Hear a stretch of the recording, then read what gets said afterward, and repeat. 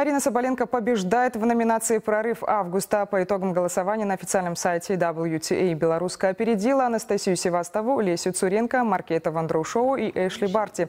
Напомню, в августе Соболенко выиграла первый титул в карьере на турнире в Нью-Хейвене и провела ряд отличных турниров.